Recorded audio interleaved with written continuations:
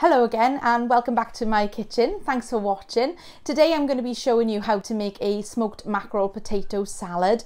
It's really quick and easy, uh, perfect for lunch or if you've got people coming over, it's wonderful for the summer. So let's get started.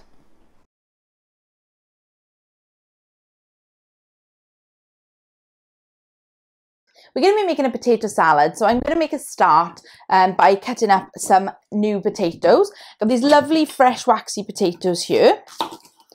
Now, I have a little cheat for cooking these. I like to cook them in the microwave. Uh, it's a lot quicker and you only need one bowl. So I'm just going to chop them up into chunks, just sort of roughly.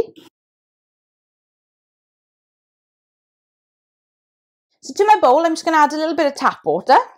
Just want a little bit in the bottom. You don't want to um, cover them. So I'm going to add a little bit of salt. You don't need too much. And then I'm just going to add a little bit of cling film just to seal it. And then I'm going to pop them in the microwave for eight minutes. Check them after eight minutes. They might need an extra minute or two, um, but usually that's about right for this amount of potatoes. I've just got some uh, water here that I've been boiling. So I'm just going to add some salt to that. And with my um, mackerel salad, I love to add boiled eggs. So we're going to pop these into the hot water and put them back onto boil for about six minutes. I'm looking for an egg that I can still cut, but that's soft in the middle. So we've got our potatoes in the microwave and our eggs on the hob. So I'm going to make a start on the creme fraiche filling with the mackerel. Add in about 200 grams of creme fraiche. I'm going to add to that lots of black pepper. Lots of black pepper. And then I'm just going to take a horseradish sauce. You can use anyone that you like. You can even leave it out if you prefer, but it does go absolutely lovely with the uh, mackerel. And then to that, I'm just going to add some spring onions. And I've got some chives growing in my garden at the moment, so I thought I'd add some of those as well. Absolutely gorgeous again this time of year. Just roughly chop them. Don't worry about it too much. You can see here, I've even got some um, chive flowers starting to come on my plant. Um, and those are edible as well, so don't get rid of them. They're absolutely lovely. You can put them in salads. I'm going to add a nice squeeze of lemon juice. It's quite a creamy topping, so the lemon really cuts through that. A bit more black pepper. Now, if you notice, I'm not adding any salt because we're going to be adding our smoked mackerel next. And um, smoked mackerel is actually very salty. So what I'll do is add it, taste it. If I need a bit of salt, I can add it, but obviously I can't take it away. So um, these smoked mackerel come just like this, and they have a skin on the back that we're just going to remove. And then I like to flake these with my hands to make sure there's no bones. And we want fairly nice chunks to go into our filling. But we do want to keep a couple of the larger chunks to garnish the top of the salad as well.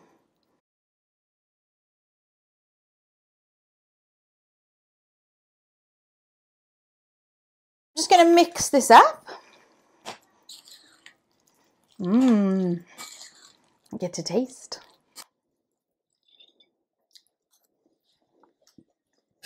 Mmm. A little bit more black pepper, but it's lovely. So new potatoes are cooked. I'm just going to check them. Just be very careful when you remove the cling film because it will have formed a seal. You can burn your fingers.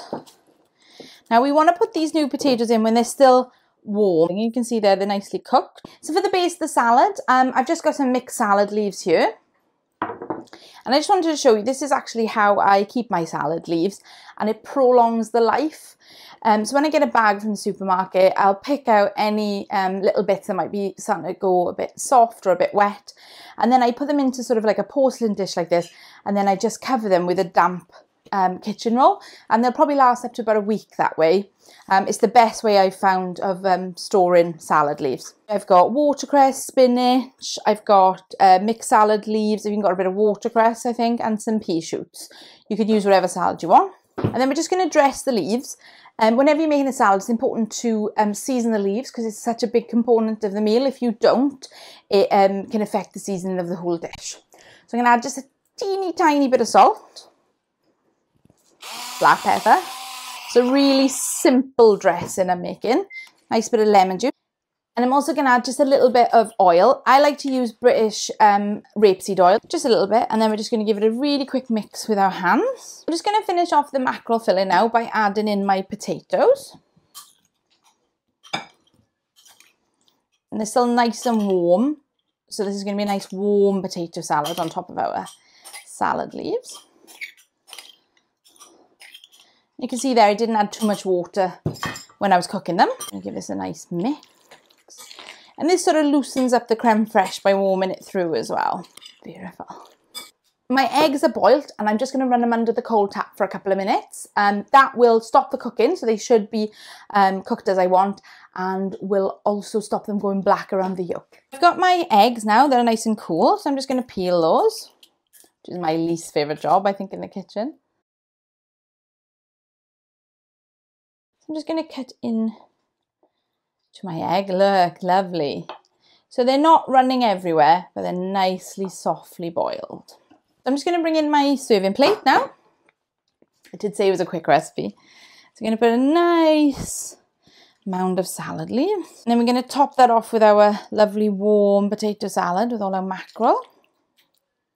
I'm going to add on our eggs, which I'm going to add a little bit of black pepper to, just to bring out the flavour of the eggs. Add a little bit more to the top. I'm just going to finish off our dish now with a little bit of our reserved mackerel flakes, just to add some of that um, colour to the top. And then the last thing, I want to garnish it with some more of these beautiful chives. I'm just going to cut into those. Make them just a little bit bigger probably for the top.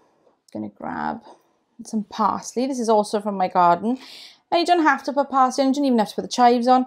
I just think this time of year we've got an abundance of fresh herbs um, and they just add to any dish that you add them to. So that's our smoked mackerel and potato salad finished.